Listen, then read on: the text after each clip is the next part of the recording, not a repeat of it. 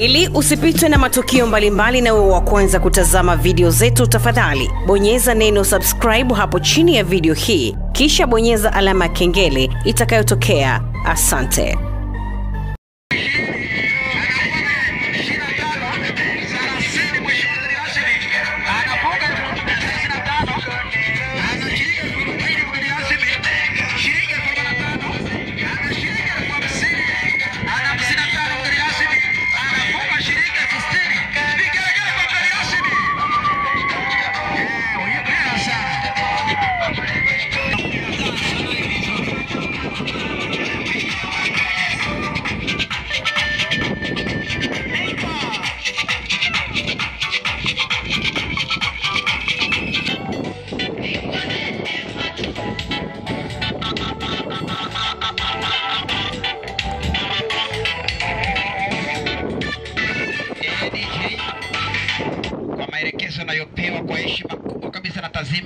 Endapo atakabidhi zawadi hiyo, mheshimiwa mgeni rasmi ataifungua na mama mkuu kutoka Musoma. DJ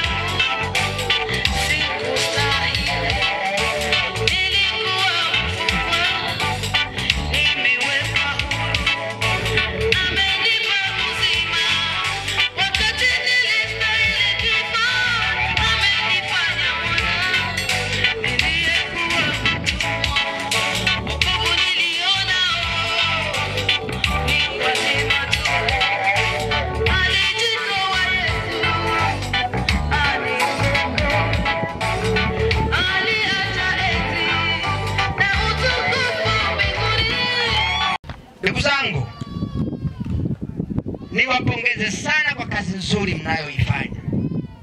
Mimi leo nilikuja kujumuika nanyi, lakini katika kujumuika nanyi nimeona namna ambavyo mmelia, mmelia kwa ajili ya kuhakikisha kwamba jengo hili linasimama, na katika kulia kwenu mpaka sasa hivi keshi ambayo ilitangulia kutolewa ilikuwa milioni tatu laki nne na elfu na- nane mia saba.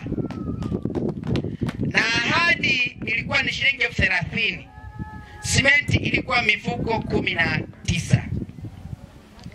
Sasa wakati upande huu wanashindana wametoa milioni moja kuongeza ikapanda ikawa milioni nne na sio?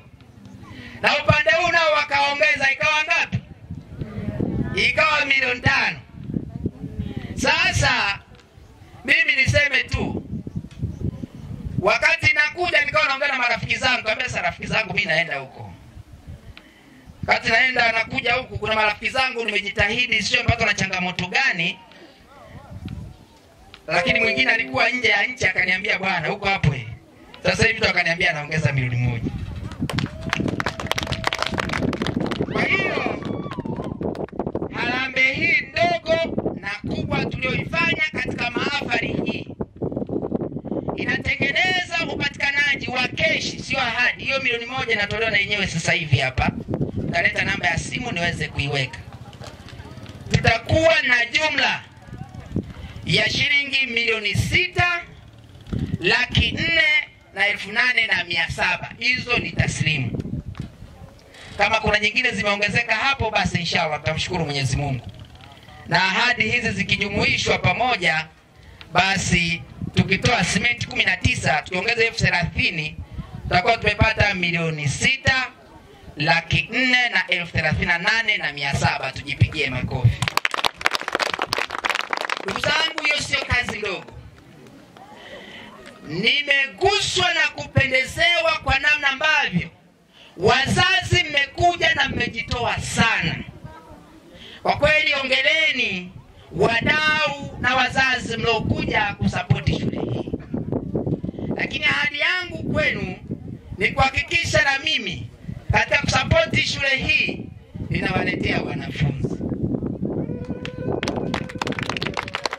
Kwa hiyo wanafunzi sio lazima ndio nawazaa mimi, sio? Kwani nikichukua hata mtoto wa jirani nikamsomesha sitakuwa nzuri? Na nikamleta kwenye shule hii, mwalimu mkuu, hata ni shilingi ngapi kwa mwaka? milioni moja. Milioni moja na laki tatu. Sasa hiyo ni hela ndogo, sio hela kubwa sana.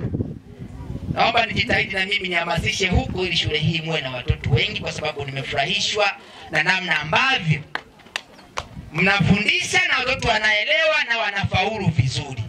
Hongereni sana walelewa mlioko hapa, mnalelewa ili na nyinyi mkalee.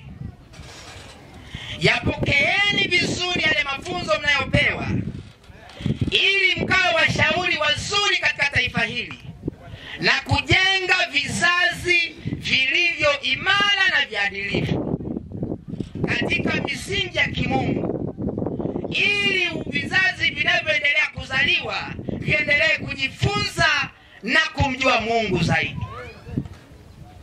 Wahitimu ambao leo tunawaga hapa, naamini mnaenda kuihubiri habari njema ya uadilifu ambao mmejifunza katika shule hii, na huko mnakokwenda, sina shaka na uadilifu mlioweza kuupata kutoka kwenye shule hii.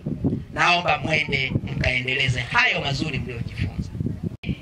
Ninaamini asilimia kubwa mlioko hapa mnatokea mkoa wa Mara. Tunaamini mkoa wa Mara katika kulea katika kulea watoto ni mkoa wenye uadilifu mzuri. Mimi wakati ninazaliwa, dada yangu alivyokuwa akikuwa, nilika, nili, nili, nilikabidhiwa kumsimamia, kwa sababu tunaamini kwamba ukimlea mtoto wa kike vizuri, huyo ndiyo mali, atakuletea mahali. Kwa hiyo nilikuwa namlinda mtoto wa kike ilivyo vyema, na halikadhalika hata dada zetu walitusimamia vyema kuhakikisha kwamba vijana wa kiume tunaishi kwenye uadilifu. Pale tulipokosea, waliweza kurudisha taarifa nyumbani kwa wazazi, na wazazi kutuadhibu katika kutujengea misingi na uadilifu kwenye jamii zetu.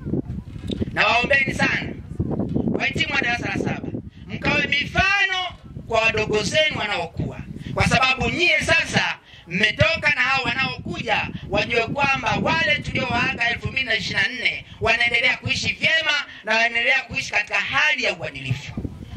Jamii iliyoko hapa na ndugu zangu, nimependezwa na mazingira haya ya Mtakatifu Konsolata. Najua tumepata hizi fedha kwa sababu kuna wanajitahidi kufanya kazi. Naomba eneo hili pamoja na kwamba mnafundisha hawa wanafunzi masomo yao yanayohitimu kwenda huko, mimi ningetamani katika mawazo yenu ya baadaye, fikirieni kutengeneza eneo hili kawe na chuo cha kilimo. Ni kwa nini mwe na chuo cha kilimo? Moja, mna maeneo makubwa, lakini mko karibu na ziwa. Maeneo haya yanaweza kutumika katika kuzalisha mazao mbalimbali ya kibiashara ambayo yanaweza kuwa pia ni sehemu ya kuwasaidia na kutoa taaluma kwa vitendo, inaweza kwenda kuwasaidia vijana wetu. Ndugu zangu, muda umeenda sana, ningeweza kuongea mpaka kesho au kesho kutwa. Itoshe tu kusema ninawashukuru sana sana sana sana sana. Mwenyezi Mungu awabariki. Nawatakia wale ambao wanaondoka wawe na safari iliyo njema, lakini nami msisite kuniombea kwa sababu ninayo safari ndefu, lakini niliheshimu kufika hapa kwa sababu kama mwanajamii nalitamani kushiriki nanyi na mkaone mchango wangu, lakini niendelee kuwatia moyo kwamba tuko pamoja nani, tuko pamoja nanyi. Kama kuna changamoto yoyote, msisite kushirikiana na ofisi yangu, tutaendelea kuboresha, kwani hapa ni nyumbani na mimi ni mwanajamii hii, na haya ndiyo mazingira yangu. Sitachoka kushiriki pamoja nanyi. Baada ya kusema hayo, itoshe tu kusema Mwenyezi Mungu abariki. Nawashukuru sana, asanteni sana.